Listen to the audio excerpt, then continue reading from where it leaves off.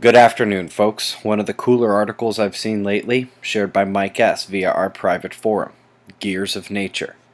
The Gulf systems blossomed into a more dangerous event, gaining power and still sending moisture northward along its expected track. Same goes for the Eastern Pacific storm. Combination of moisture from those two is what actually came north to flood Colorado.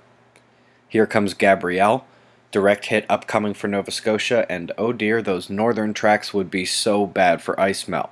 Still not worried about Umberto out there in the Atlantic. Much more concerned about Japan. The storm looks fierce, and frankly, this is the best track we can hope for now. Primary sunspot is this.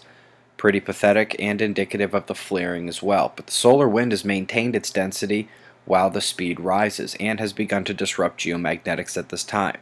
Coronal hole power growing but still absent in the Earth-facing openings. No big quakes to boot. We had a filament erupt today. It does look to be mostly headed away from Earth, but we'll check back in later on the website with another update of all the top watches. Read that article, folks. Eyes open. No fear. Be safe, everyone.